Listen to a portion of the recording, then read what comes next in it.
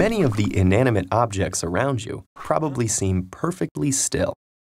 But look deep into the atomic structure of any of them, and you'll see a world in constant flux, stretching, contracting, springing, jittering, drifting atoms everywhere. And though that movement may seem chaotic, it's not random. Atoms that are bonded together, and that describes almost all substances, move according to a set of principles. For example, take molecules, atoms held together by covalent bonds. There are three basic ways molecules can move rotation, translation, and vibration. Rotation and translation move a molecule in space, while its atoms stay the same distance apart. Vibration, on the other hand, changes those distances, actually altering the molecule's shape. For any molecule, you can count up the number of different ways it can move. That corresponds to its degrees of freedom, which in the context of mechanics basically means the number of variables we need to take into account to understand the full system. Three-dimensional space is defined by x, y, and z axes.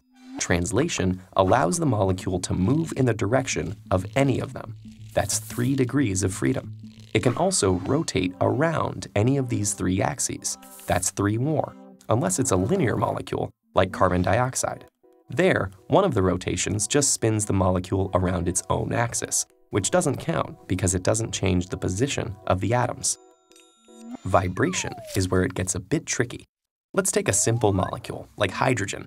The length of the bond that holds the two atoms together is constantly changing, as if the atoms were connected by a spring.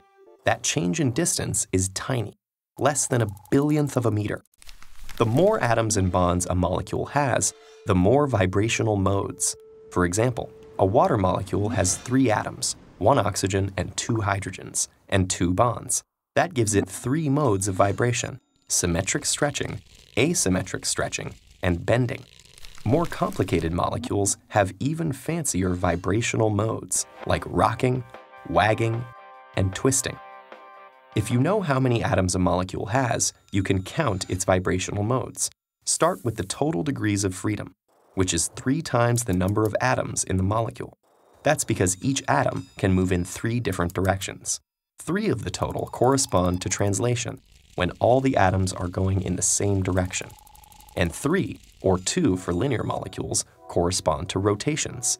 All the rest, 3n6 or 3n5 for linear molecules, are vibrations. So what's causing all this motion? Molecules move because they absorb energy from their surroundings, mainly in the form of heat or electromagnetic radiation. When this energy gets transferred to the molecules, they vibrate, rotate, or translate faster.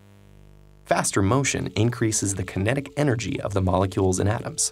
We define this as an increase in temperature and thermal energy.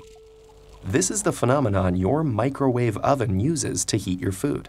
The oven emits microwave radiation, which is absorbed by the molecules, especially those of water. They move around faster and faster, bumping into each other and increasing the food's temperature and thermal energy. The greenhouse effect is another example.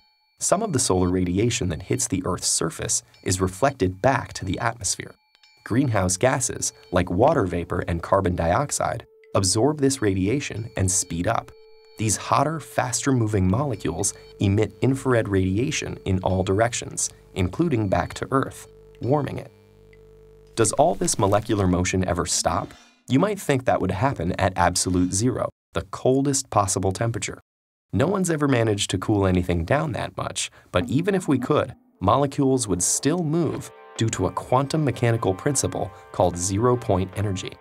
In other words, everything has been moving since the universe's very first moments, and will keep going long, long after we're gone.